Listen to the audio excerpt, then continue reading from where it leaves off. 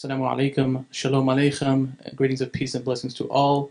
I'm honored to be here before you and in the presence of the esteemed rabbi uh, to fill in and just begin to shed a little bit of light on the a few of the beautiful and significant Islamic holidays that mark important moments in the lives of Muslims around the world. Uh, the joyous occasions provide an opportunity for us to come together, reflect on our faith, and strengthen the bonds of our communities. Islam encompasses a rich tapestry of traditions and observances, and while there are numerous Islamic holidays, for the sake of time and brevity, I would like to focus on two major celebrations, being Eid al-Fitr and Eid al-Adha, and one of the major events connected to Eid al-Fitr, which is Ramadan. Firstly, I'll briefly discuss the Islamic calendar. The calendar is a lunar calendar. It follows the monthly cycles of the moon and its phases. It contains 12 months made up of 354 or 355 days. The years in the Islamic calendar begin with the year 622 of the Common Era on the Gregorian calendar. This marks the year in which the Prophet Muhammad wasallam, peace be upon him, emigrated from Mecca to Medina and established the first official Muslim community in an event known as the Hijrah. So, for example, today, June 14th, 2023 of the Common Era would be the 25th of Dhul Qa'dah in the year 1444 Anno Hegirae, which is the year of the Hijrah. The Islamic calendar uses the phases of the sun to determine uh, the start date, excuse me, the phase of the moon, apologies, to determine the start date of the months and the dates of some of the seminal events of the Muslim year, some of which we will see next. Uh, the first holiday we're looking at here is uh, Eid al-Fitr, which translated from the Arabic means the festival or celebration of the breaking of the fast. Um, this is because Eid al-Fitr follows the holy month of Ramadan, which is the ninth month of the Islamic calendar, and the practices of Ramadan run out through the entirety of the month. Uh, and I'm sure many of us know someone who has partaken in or have partaken ourselves in the festivities of Ramadan. I'll briefly go over it and its practices and significances. Again, the Islamic calendar is a lunar calendar, so it determines the beginnings of each month by the sighting of the crescent moon. Um, as such, Ramadan falls on a different Gregorian date each year, typically shifting between 10 and 12 days, and subsequently lasting between 29 and 30 days. So the question then becomes, what exactly is it that Muslims do during Ramadan?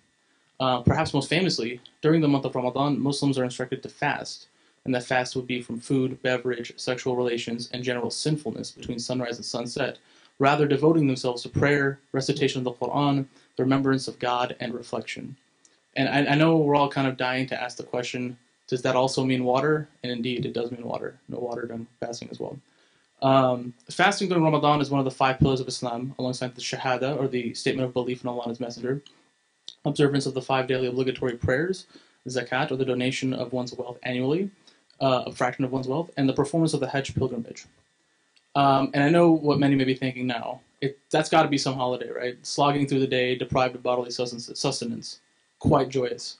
Uh, but indeed, for Muslims, it's the most joyous of occasions because of what Ramadan represents. It's the commemoration of the first revelation of the Quran to the Prophet Muhammad, peace be upon him, by the angel Jibril or uh, Gabriel in the cave of Hira near Mecca. Uh, briefly, this, this occurred during the year 610 of the Common Era, and according to a, narration in Sahih al-Bukhari, one of the largest collections of sayings and practices of the Prophet, peace be upon him. While in the cave, Jibril came before the Prophet and said to him, Iqra, read. To which the Prophet said he did not know how. Now, following a tight embrace from Jibril, the cycle repeated twice more until the Prophet began to receive and repeat the first revelations of the Quran, which are the first five ayahs or the verses of Surah number 96, Al Alaq, the clot. Uh, this revelation is narrated to have occurred during a very sacred night known as Laylatul Qadr, the night of power. This was the night in which the Prophet received his revelation, the night where the Quran was sent from the heaven to the earth and then dispersed piecemeal to the Prophet over the course of 23 years. Uh, but more on Laylatul Qadr later on.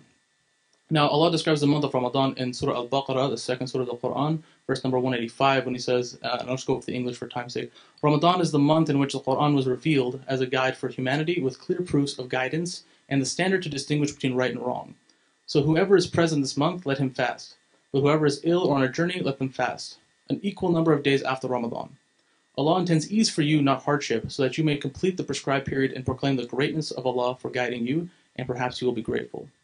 As we can see here, fasting is prescribed upon all Muslims, but there are some exceptions for specific individuals to delay their fast uh, for due to hardship to be made up for later on. Uh, some of these examples would, be, would include the traveler, the elderly, the ill, the diabetic, uh, the breastfeeding mother, or the menstruating woman.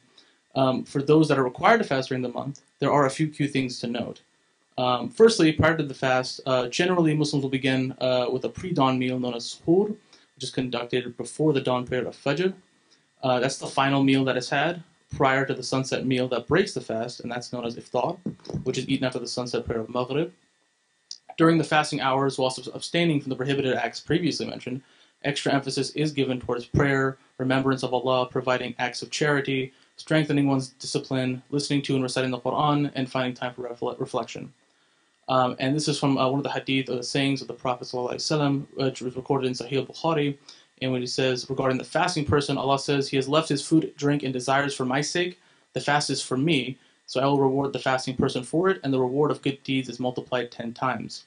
Uh, the incentive here, if you will, is for amplifying one's fast with positive actions and good deeds, is quite literally tenfold during Ramadan. As such, there are two additional components that are also incorporated into daily Muslim life during Ramadan uh, one being the Taraweeh prayer, and the other being completing the reading of the Quran. Taraweeh means uh, rest or relaxation, and as we know quite well, there's nothing more relaxing after a long day of fasting than standing still for two hours. Um, I'm just joking, of course. The Taraweeh prayer is rest and relaxation for one's mind and one's soul. It's a way of furthering one's connection with God through the recitation of His Word and steadfastness in His worship. And the Taraweeh prayer itself consists of 20 cycles or rak'ahs in sets of two following the Isha or nightly prayer. Each night, the Imam will typically recite one chapter or juz of the Quran, so that once Ramadan is complete, the entire Quran will have been recited. Uh, while they're not compulsory like the five daily prayers, uh, they are strongly encouraged as a confirmed practice or sunnah of the Prophet, peace be upon him.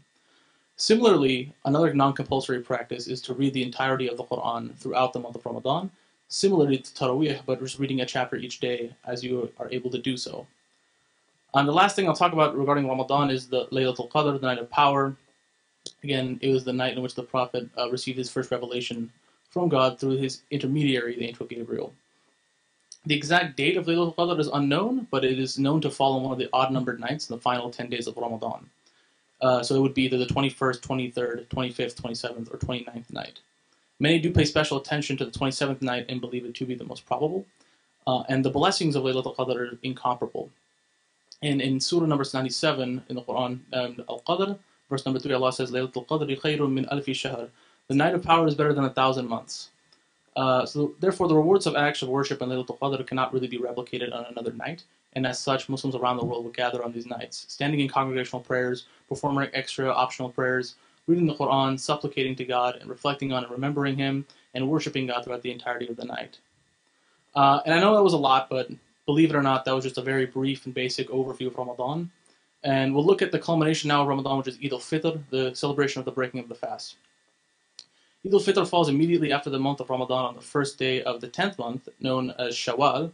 Eid al-Fitr is commemorated with a special prayer that is performed in a large congregation and slightly different than the daily prayers since it includes additional takbirs, which is the raising of the hands accompanied by saying the words Allahu Akbar. The Eid prayer is conducted in two cycles or rak'ahs and is then accompanied by a sermon from the Imam uh, which is distinct from the routine Friday or Jumu'ah prayers, which include a sermon, but it's concluded it's conducted prior to the cycles of the prayer. Uh, there are some sunnahs or confirmed practices of the Prophet regarding the Eid prayer, such as taking a full body purification bath prior to attending, dressing in the finest clothes, eating an odd number of dates prior to attending the prayer, and taking a different path home from the prayer that one took to the prayer. Um, now, prior to the Eid prayer, it's incumbent on the Muslim to pay an additional charity uh, known as the fitr, it can be paid prior to the, required period, but it must be paid prior to the prayer. Uh, it can be paid, zakat, conversely, can be paid any time. But the payment of the fitr is the way for the fasting Muslim to show thanks to Allah for enabling them to complete their observance of the fast and in a way to assist the poor and the needy. Upon completion of the Eid prayer, Muslims will then embrace one another with greetings of Eid Mubarak, Blessed Eid, Happy Eid, not really Merry Eid, but you know similar. Uh, during Eid, it's a time for forgiveness, a time where Muslims repair any broken bonds they have with one another, asking for forgiveness, forgiving one another for past transgressions, and removing the enmity between one another if there is any. Um, of course, Eid is accompanied with a copious quantities of delicious foods and sweets, which after a month of fasting is quite the welcome sight, trust me. Uh, the remainder of the Eid celebration then will, will vary between cultures, but commonly includes spending the day with uh, the presence of family, eating delicious, sometimes special foods, if you haven't had kabuli palau, try it on, on Eid. It's very good. Um, enjoying the company of one another, decorating one's home or neighborhood, giving gifts and sweets to children, and partaking in festivals or group activities that the community puts on. Uh, many Muslim majority countries will also shut down schools and businesses in observance of Eid so that the families can be together and celebrate the joyous occasion. Eid al-Fitr reminds us of the importance of compassion, sharing, and the joy of coming together as a family. Uh, and, and, one more celebration we'll look at here is Eid al-Adha. Um, the first day of Eid al-Adha actually aligns with the third day of the Hajj, both being on the 10th day of the month of Dhul Hijjah, which is the one or the month of the pilgrimage, and that's the 12th and final month of the Islamic calendar. And I wanted to speak a little bit on the Hajj, but that would take a, a very long time, so I'll go ahead and forego that and just we'll, we'll talk about Eid al-Adha and I'll, I'll, call it a day here. Um, so Eid al-Adha, uh, which is actually coming up here towards the end of the month, is uh, translated as the festival of the sacrifice, and it commemorates the the Qurbani sacrifice. Um, on the 10th day of Dhul Hijjah, it is the major event that is celebrated is the ritual slaughter of an animal. This animal can be a goat, a cow, a sheep, a lamb, or a camel, and is ideally distributed in three parts equally, one for consumption by the family, one for friends and extended family, and one for the poor and the needy. Now, in lieu of slaughtering the animal themselves, which it can be quite difficult, I'm not really exactly a master at it yet, but you know we're, we're working on it. Um, you can arrange to have the animal slaughtered, sometimes overseas, in which case the entirety of the sacrificial meat would then be distributed amongst the poor. Uh, what's distinct here about the slaughtering of the animals for the qurbani is the discarding of the blood of the animal and the lack of any burnt offerings accompanying it. Now, this sacrifice is acceptable between the 10th and the 13th of Dhul Hijjah. Um, and for the reason behind the Qurbani, it's a symbol, a symbolical replication of the story of Ibrahim or uh, Abraham salam and his son. In the Quran, in Surah number 37, As-Safat, it means those who set the ranks. Verses 102 to 109, the story of that is relayed, where Abraham sees in a dream that he must sacrifice his son. Now, most you say that this is Ishmael, but it's not. He's not explicitly named in the text. And, and one quick note about that is that the Quran doesn't exactly elaborate upon the identity of the son, as it's not the point of the narrative. The Quran itself does not delve into the details of the sacred narratives in the way that the Tanakh typically does, but rather it draws out the overarching instructional lessons of the narrative. Um, so here, upon telling his son about the dream, uh, his son willingly accepts the ultimate destiny and lays on his side of his forehead for sacrifice. At that point, God calls out to Abraham and informs him that he has fulfilled the dream and that this was just a test for him. God then provides a ram to be sacrificed instead as a ransom for his son, and that is now remembered with the Qurbani sacrifice. On Eid al-Adha, similar to Eid al-Fitr, the prayer is held consisting of two cycles of prayer uh, with the additional takbirs and uh, the following of the prayer with the sermon. Uh, and then after each of the five um, obligatory daily prayers between the Fajr or dawn prayer on the 9th of Dhul Hijjah and the Asr of the 13th of Dhul Hijjah, the sunset prayer, Muslims will additionally say the takbir out loud in the following manner Allahu Akbar, Allahu Akbar, Allahu Akbar, La ilaha illallah, Allahu Akbar, Allahu Akbar, walillahi alhamd. Allah is the greatest, Allah is the greatest, Allah is the greatest. There's no God but Allah. Allah is the greatest, Allah is the greatest, and to Allah goes all praise. Uh, the festivities are similar with the traditions of Eid al-Fitr, um, like greeting one another with Eid Mubarak, visiting and embracing family and friends, exchanging of gifts, partaking of sweets and foods but it's also a time to reflect on the blessings that we have and an opportunity to share with those in need. Eid al-Adha really encourages us to be compassionate, selfless, and prioritize the welfare of others. Um, and if you haven't partaken in an Eid celebration, I would highly recommend it if presented with the opportunity. It's a, it's a wonderful experience and a great time to connect with loved ones and, and celebrate. Um, and just in closing here, you know, Islamic holidays, they provide us with moments of celebration, spiritual growth, and community building. They serve as reminders of our values and principles, they emphasize the importance of love, compassion, sacrifice, and self reflection. Whether it is the celebration of Eid al Fitr or the spirit of sacrifice during Eid al Adha, the holidays pretend to bring Muslims closer to their faith and to one another. With that, I will see the rest of my time, and I thank you all for listening.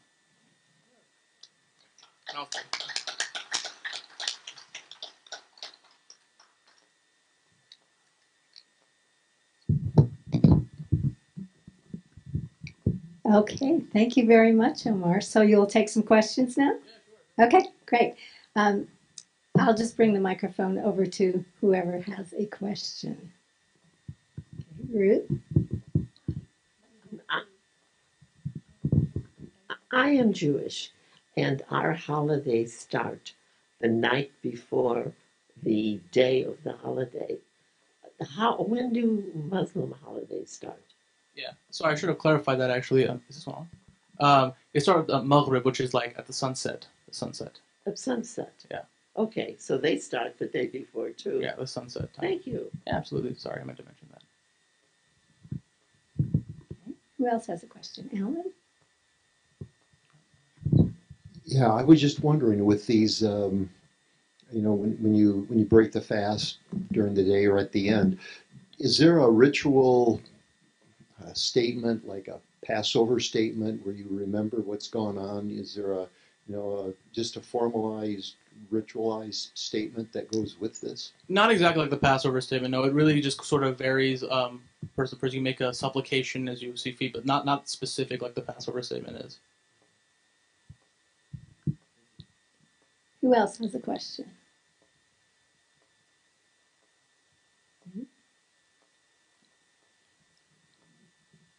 I actually have one question. I Oh, think okay. you said that um, you break the fast by eating an odd number of dates. Is that right, or an Uh, uneven so number? it's a it's a practice of the prophet uh, to eat at not in odd numbers of dates. Yeah, odd numbers of dates, and that actually was when going to the Eid prayer. Going to the Eid prayer to eat um, an odd number of dates prior to um, going to the prayer itself, and it's a it's a sunnah, so it's a following in the in the tradition of the prophet.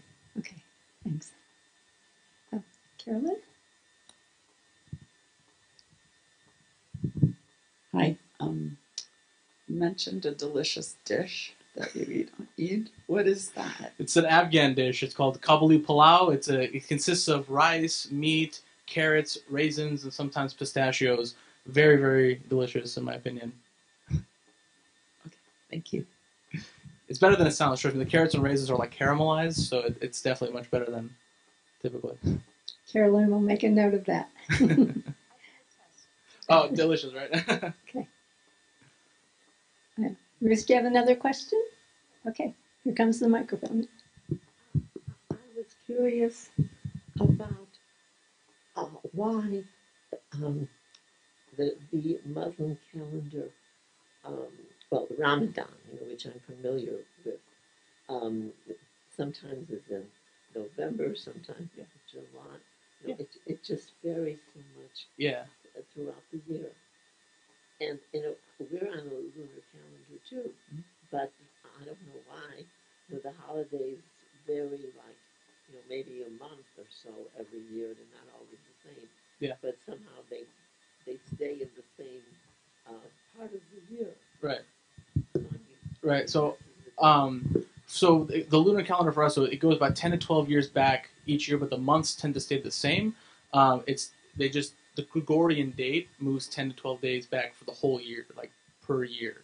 So I don't know. I let the rabbi elaborate upon the, the Jewish calendar, um, but for our calendar, it goes about ten to twelve days back each year. So that's why it goes season to season. It's actually possible to have Ramadan twice in a year. Um, I, there's calculation. I don't remember what it's coming up, but um, it's possible to have it at the end of the year and then at the beginning of the year at the same time. Like two separate Ramadans that overlap. So because the calendar shifts ten to twelve days. Okay. Any other questions?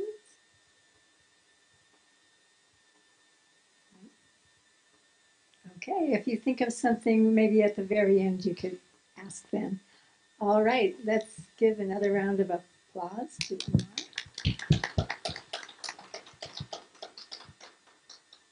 And now, Rabbi Judith Seid from Tri Valley Cultural Jews.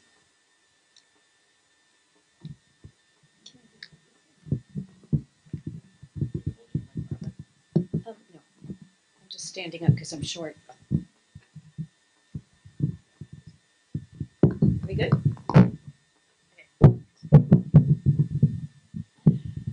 Okay, the Jewish calendar. The the Jewish calendar is really when you know the Jewish calendar, you know the history of the Jewish people. It's um, it's messy. It changes all the time. It's inventive, and sometimes different people have holidays that are longer or shorter or even individual. Um, there are things about the Jewish calendar that would be recognizable to to you, like uh, we have a seven day week. Not every culture does.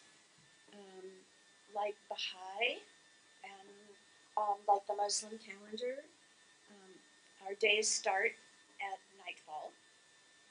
Um, like the Baha'i, we have a spring new year, sort of. Um, and it's it's lunar solar, like the Hindu calendar. It's usually 12 months. Um, that's where it kind of all goes off the rails. Um, because when you're an ancient um, culture, you've got lots of different um, influences, and you have a herding, herding culture, and you also have a farming culture. And herding cultures are lunar, and farming cultures are solar. So we had to make some kind of arrangement whereby the seasonal holidays had to come at the right season, but we also had to use the moon for our months. And so, like the ancient Babylonians, the solution was to add some months. We add a, um, a second last month of the year, Adar, in the spring, and we um, we do that seven times every 19 years. The third, sixth, eighth, 11th, 14th, 17th, and 19th years of the 19 year cycle. But it's not that easy. Um, because some of our holidays cannot happen on a Friday or a Sunday because they are fasts, which I will get to. You can't have a fast the day before the day you can't cook, and you can't have a fast the day after the day you can't cook, and you can't cook on um, on our Sabbath, which is Saturday. So, um, as a result, we sometimes add a month or subtract. Uh, no, add a day or subtract a day from a couple of months. Um, and as a result of all of this finagling around, which got finally um, kind of uh, solidified in the 700s, um, as a result of that, uh, Jewish years can be 353, 354, 355, 383, 384, or 385 days.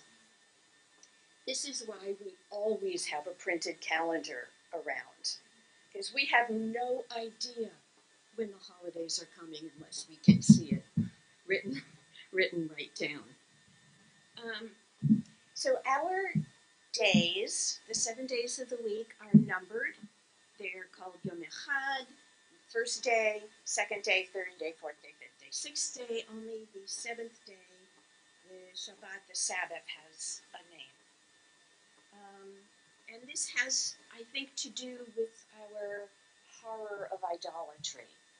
That the names of the months, although they are adopted from the Babylonian names, are not generally associated with gods. But for instance, in English and in a number of other number of other languages, the names of the days are associated with various gods, and we're not, we're not having that. This is- this is not what we're going to do. Um, we do celebrate the new moon. It's a kind of a minor holiday that has been kind of recovered as a women's holiday just in the last probably 60 years, 50 or 60 years. This is typical of Jewish holidays is we keep reinterpreting our traditions and our holidays um, in order to make them responsive to our environment and what's going on in the world and where we live.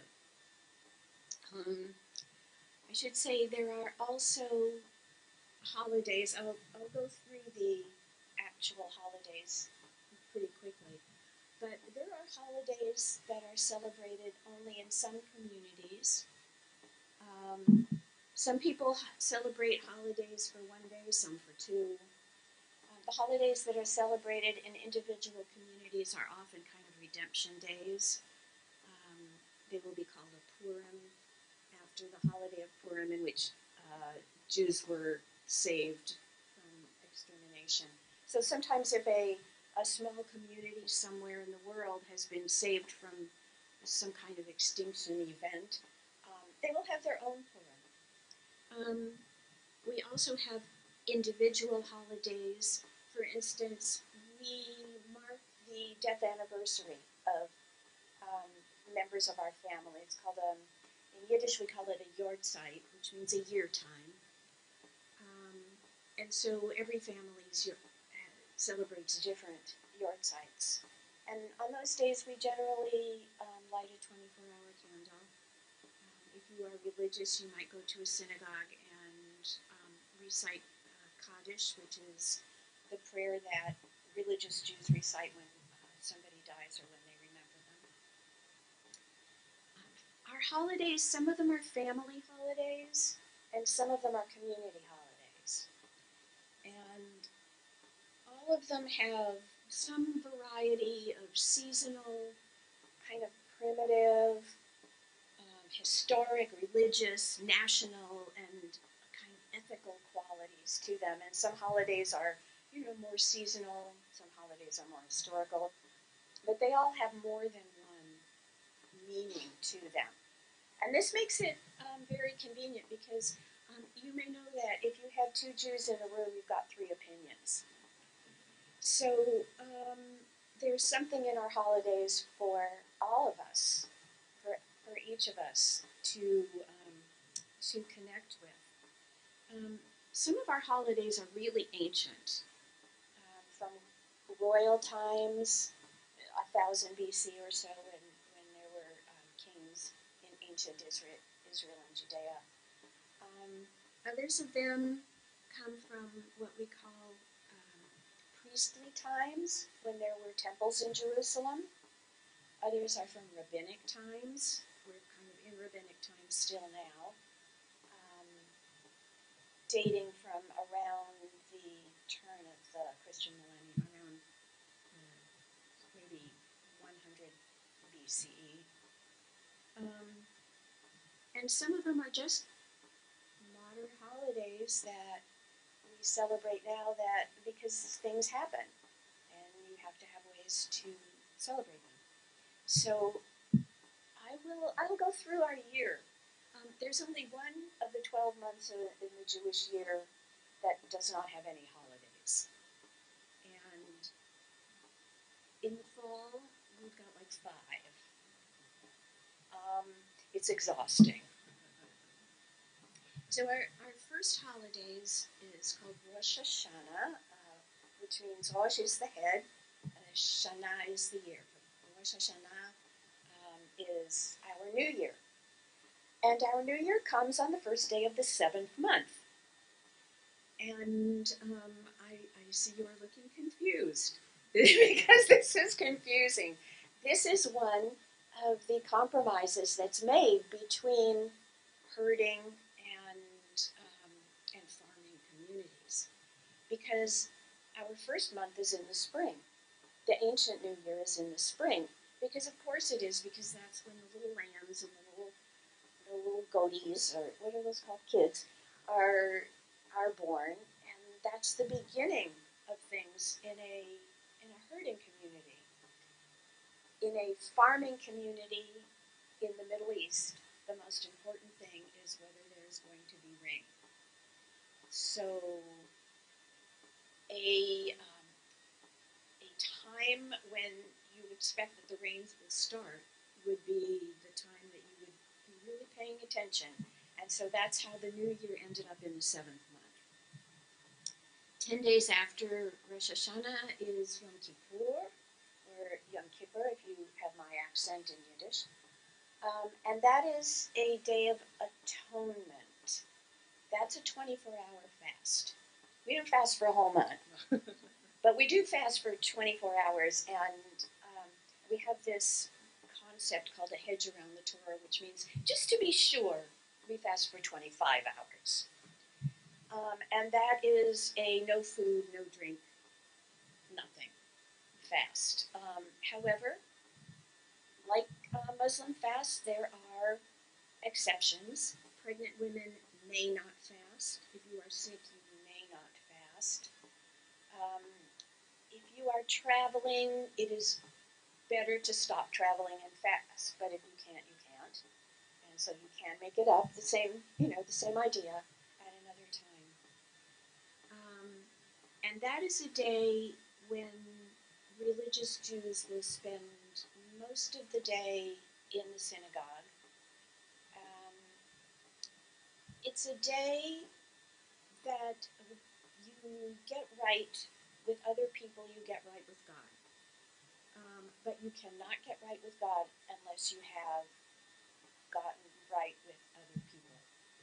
There, you must, during the 10 days between Rosh Hashanah and Yom Kippur, you must apologize and make amends to anybody that you've wronged. And that person is obligated to forgive you you ask.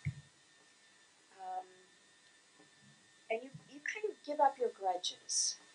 And that's, you know, for me, that's the important part of the day because I am not a religious person. Um, but for a lot of uh, for a lot of Jews, it's you know um, starting the year right.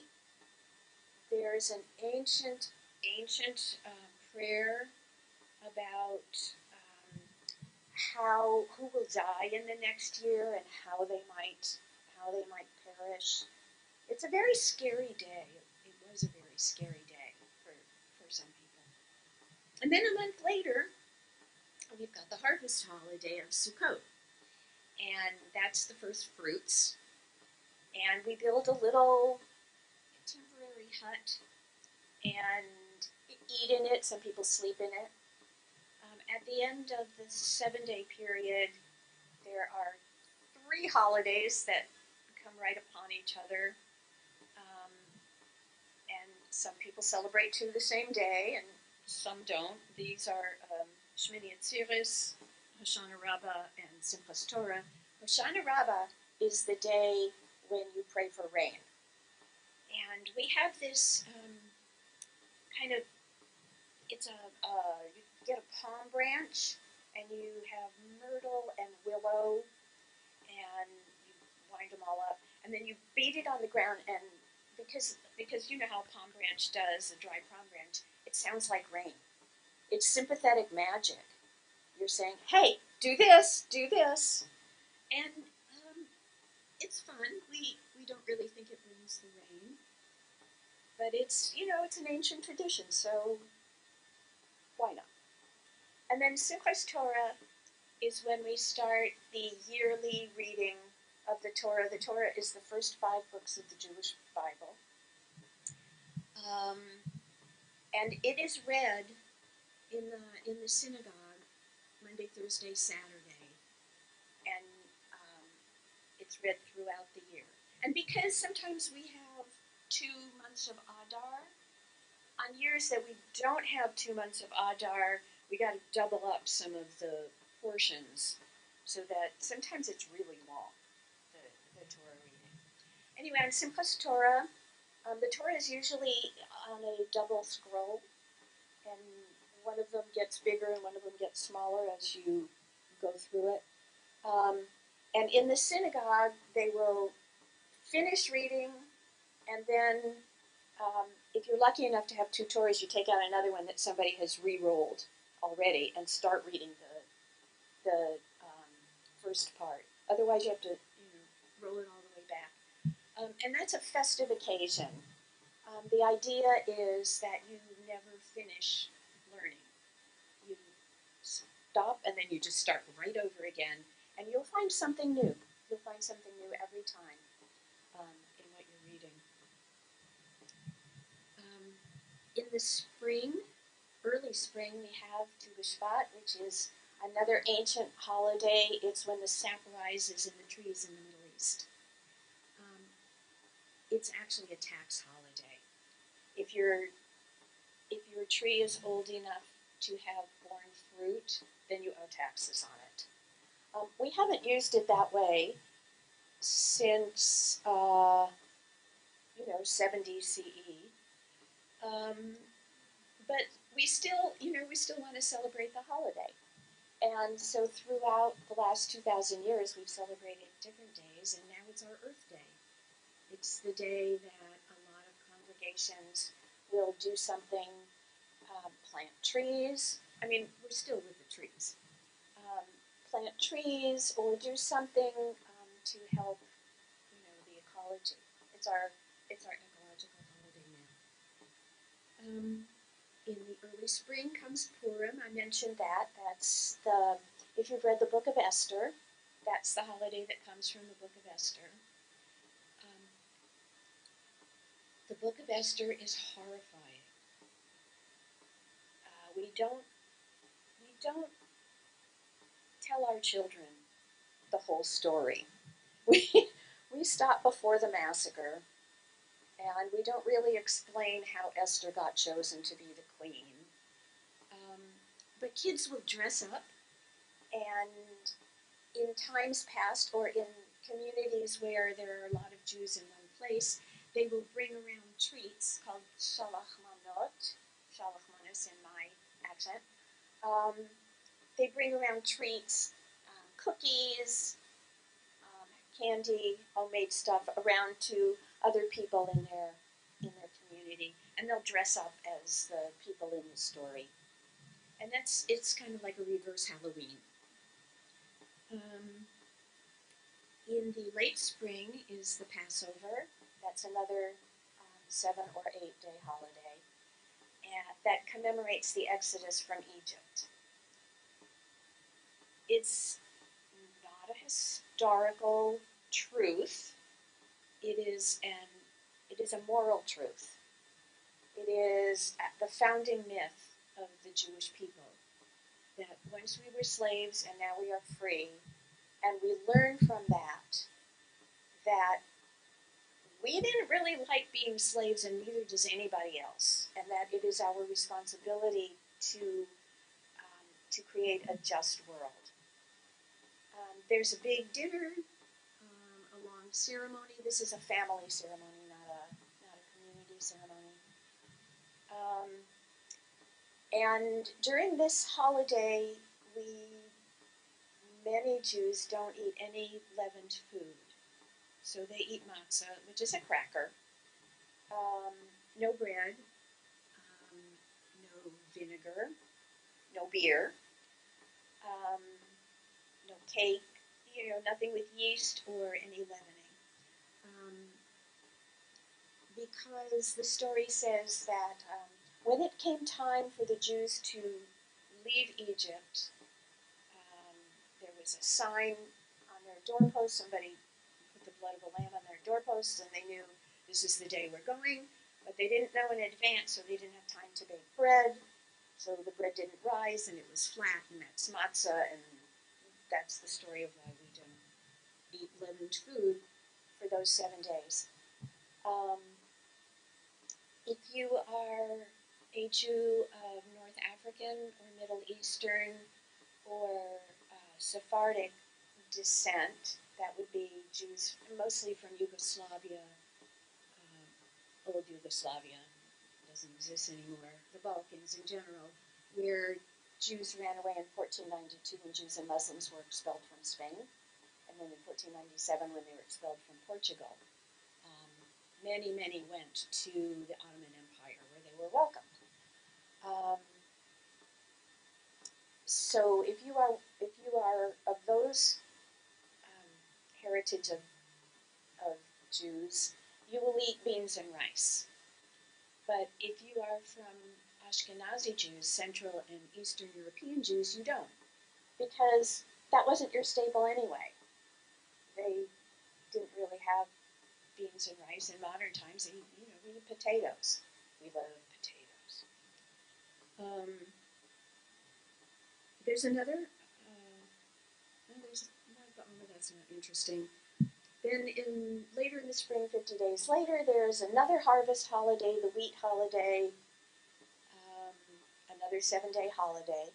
The the three seven-day holidays. Those are days when in um, in times past, in the times where there was an independent Jewish kingdom um, uh, in Israel, um, there would be the ingathering, bring sacrifices. This was during priestly times. We had a temple. There were animal sacrifices, or you would bring the first fruits, the first animal, or the first grain. And so those are, and of course, the holidays had to be seven or eight days long because people had to walk to, to get to Jerusalem. And there's a, uh, you know, I didn't tell you about Hanukkah. You all know Hanukkah, the holiday with the lights. Everybody's got in the fall or the winter, everybody's got some holiday where they do sympathetic magic again. You know, they make a lot of light, and they're like, "Sun, see, see, this is what you want to, uh, you know, this is what you want to do. This is what we want you to do." Um, at Hanukkah, we light one candle the first night, and two the second night, and we go all um, all eight nights, and we're saying, you know, "Sun, see, more and more light. Do that." And um, every year it works. So we, we keep doing it. And I, I think I've chattered on for my amount of time. So, questions?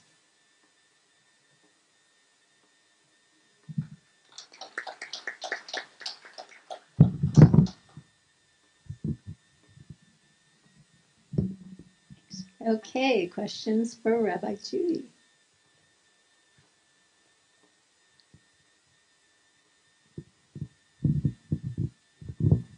Hi, my name is Omar Muhammad. Uh, I have a few questions. Number one is that uh, how do you guys break your fast after 24 or 25 hours?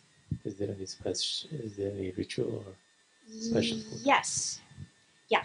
Um, actually, I'm going to stand up again. Um, only anything special uh, to our Yom Kippur fast. Uh, people get together, and uh, there is a, a ceremony, not even a ceremony, there's a tradition of eating an egg. Um, but mostly we just get together and eat. Mhm. Yeah, there's no particular like religious ceremony or ritual to it. and about how many days do you guys fast in a year? Oh, well, there are two main fasts that are 25 hour fasts, and there are mm, four minor fasts, which are sun up to sundown fasts. So, um, not very many times. We like to eat.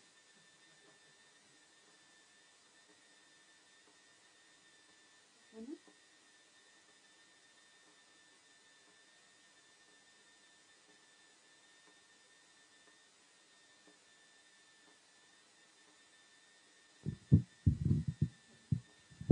And uh, regarding the reading or recitation of the Torah, Mhm. um, so it's first five chapters of uh, Jewish Bible. Yes. Okay, is it different than a regular Bible that is found? Uh, Well, if- you know, for me, this is the regular Bible. Um, it the Christian Bible incorporates the Jewish Bible. They call it the Old Testament. It's in a kind of a different order from us. But if you're, you know, looking at a Christian Bible, you will see the same first five books in the same order. Yeah, and and we don't recite. We never recite, even if you know it by heart. You always follow along um, so as not to seem like you're bragging because you because you know it all. what language? Hebrew. Hebrew. Thank you for your questions. Okay, who else has some questions for Rabbi Judy? Ruth. When I was a little girl, I remember that at a our Seder, my father always sat on a bunch of pillows rather than, you know, sitting up in a chair. And nobody ever explained that to me. Could you? Absolutely. Um, during the Seder, the youngest child recites four questions. And one of the questions is on all other nights, we, I'm translating, on all other nights we eat either sitting up or reclining. And why on this night do we recline? Your father was reclining, and the answer is because when we were slaves in Egypt, we could not rest. We, and so tonight we are able to rest and recline as we eat with our families. So that's why he did it. It's one of the it's the answer to one of the fir kashes, the four questions. Nobody else was lying, just my. Yeah, well, mm, sorry. We are um, not exempt from the ills of um, patriarchy. A bit tricky to translate. the ills of patriarchy? No, the four questions. Oh. They're a bit tricky to translate. Actually. Yeah. Yeah, but you know what they mean. Oh yeah. Um, my first semester Hebrew class, it was, it was a challenge. The the four questions are uh, Manishtana Halayla Hazeh Mikol Halaylot. Why is this night different from all the other nights? Okay, do it with me. Uh, okay, on all other nights we eat either chametz or matzah, uh, matzah or leavened food. And why on this night do we eat only matzah? On all other nights we eat all kinds of vegetables. She'ar yarakot. Halayla hazeh. Oh, and on this night, we eat bitter veg, bitterness, bitter vegetables. We eat horseradish. We love it. Um, on all other nights, we don't dip our food even one time. Why on this night do we dip it twice? And that refers to the ritual foods that we're eating, and one gets dipped in salt water and like that. And then the reclining one. Did I do good? You did it. Okay, thanks. Okay. Okay. Um, Chris? All right. I'll bring you the microphone.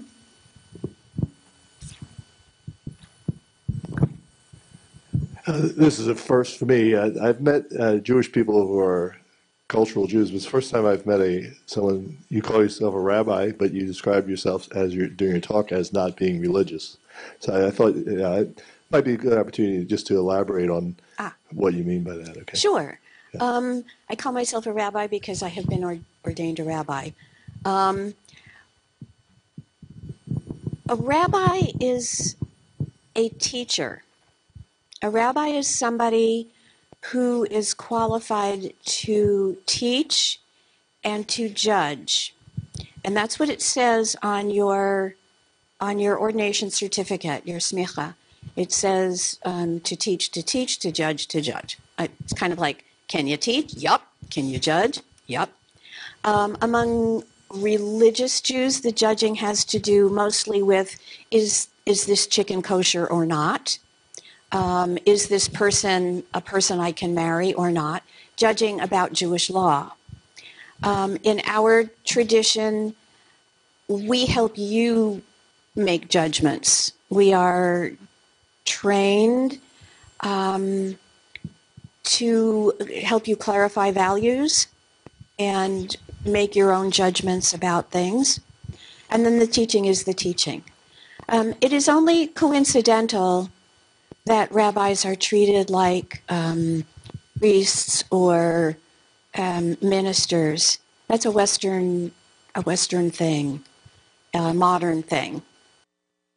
Um, in uh, in old days, um, rabbis were actually not allowed to take money for their for uh, being rabbis.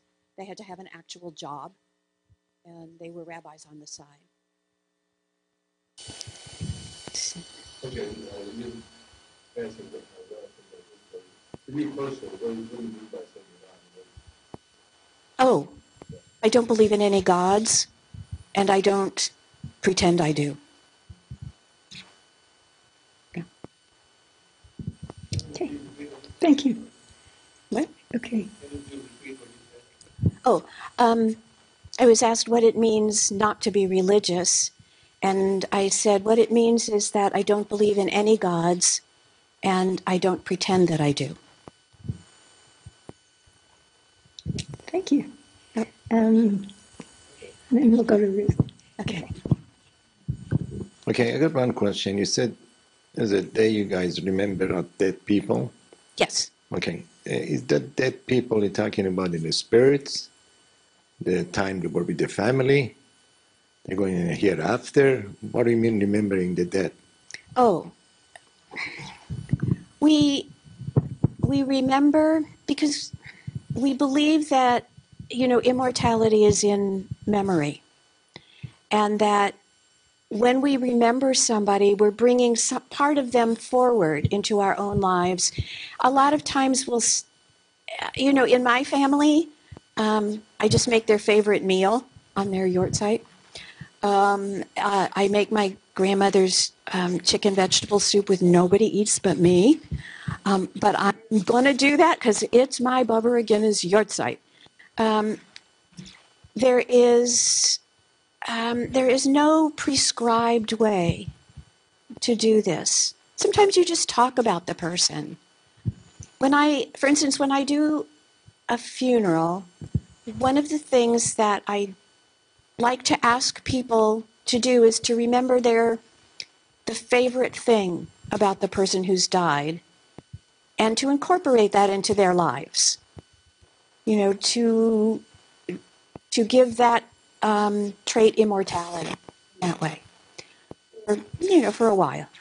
Um, and so sometimes people talk about that. Sometimes people just light a candle and go on with their lives. There's nothing prescribed about it. Thanks. We have a question back here, and then Ruth, I think you had one more question, and then we'll close the quote formal part of the meeting. And if people want to stay after that for small group discussions, they can. Okay, question back here. Hi, my Hi. name is Sadia, and I'm gonna piggyback on your response to the previous that you said, Rabbi, you're rabbi, but you don't believe in any God. I have heard the term that I'm an atheist Jew. Mm-hmm. Could you please explain what does that mean? It means that you're Jewish and you don't believe in any gods. Because being Jewish is not a religion. It's um, it is more like being, for instance, Navajo. You can be a Navajo. You can you can believe in the traditional um, Navajo religion. You can be a Christian. You can be an atheist. But your culture, your ethnicity is still Navajo. And that's the same way with Jews. It's only in the West where we say, you know, Catholic, Protestant, Hindu, Muslim, Jewish, as if it's a religion. Religion is part of our culture like it's a part of any culture. But So Judaism is not a religion? it's not a religion for sure because um, Jews don't believe the same thing. We we're all over the map. Um, the best I can say is that Jews don't believe in more than one God. Um, some believe in one, some believe in none. Um, we all think different things.